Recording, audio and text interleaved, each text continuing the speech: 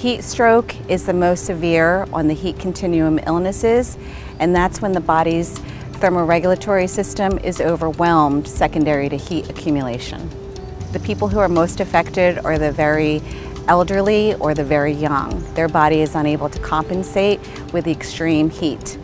Also those who have comorbid conditions, who have a lot of medical problems, and those who consume a lot of alcohol are also more predisposed to heat stroke. Initially, that person who is suffering from heat exhaustion might experience some dizziness, lightheadedness, just feeling fatigued and tired. They may also have a headache and some nausea or vomiting.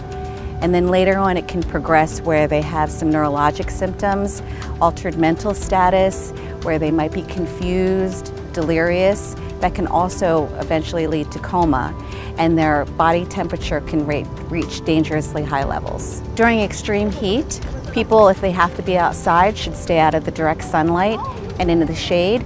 Also make sure to hydrate with plenty of fluids. Maybe hydrate with some fluids that replenish your electrolytes. But the best thing is, is to be indoors in the air conditioning.